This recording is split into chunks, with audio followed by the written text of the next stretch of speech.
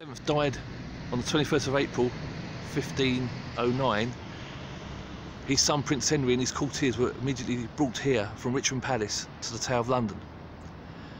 Here they prepared the succession in secret. The cause for the secrecy was that they did not want anyone to challenge the 17 year old Prince Henry's right to the throne. On St George's Day, the 23rd of April 1509, Henry was proclaimed King of England here. Henry VIII would use this palace, or sorry, use this, use this fortress for diplomatic reasons. He would invite diplomats, ambassadors from uh, from Europe to visit the castle to see the the uh, wild, the exotic animals that were that were held here. Also to show the arms that he had, the, the weapons that he had, as, as, as, so, so these ambassadors could spread the word through Europe that he, Henry VIII was powerful and had the means to defend the, defend the country. It is also more commonly known as a, a place of imprisonment during his reign. Two of his wives were executed here, Anne Boleyn in 1533 and Catherine Howard in 1541 sorry 1542 um, and several other prominent individuals were incarcerated and later executed close to the Tower of London.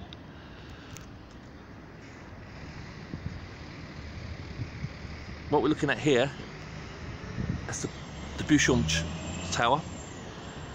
Inside you'll see examples in one of the cells of lots of graffiti uh, on the stone, inscribed on the stone by the prisoners.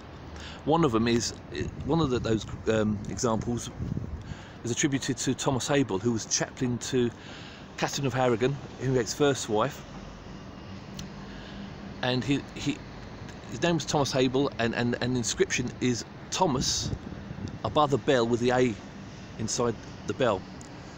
Now, Thomas Abel championed Catherine of Aragon. Um, he supported her during the divorce proceedings, and after the marriage of Henry VIII to Anne Boleyn, Thomas Chet Abel refused to acknowledge Anne Boleyn as queen. Abel also wrote a pamphlet against the king and what he was doing to the country in regards to the Catholic religion. It's in this tower that Beauchamp sorry, that, that Abel was um, was incarcerated for six years, and uh, he was executed by being burnt at the stake in Smithfield in 1540. And it's ironic that he was executed for, for, for even though the queen that he championed, Catherine, had died.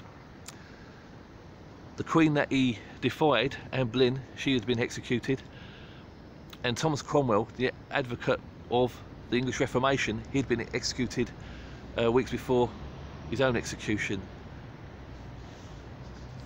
If we move further along, we have the bell tower. This is it's called the bell tower because inside there is a bell and it sounds the curfew each night. It's the second oldest tower in the Tower of London and it was here during the Tudor reign that Henry VIII's former Chancellor, Sir Thomas More, and Bishop John Fisher, the Archbishop of Rochester, were incarcerated during the during 1534 to 1535. Both men were devout Catholics and, and felt more aligned to the Pope in Rome than they did to the English King.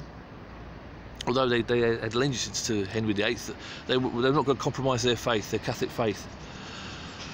So they refused to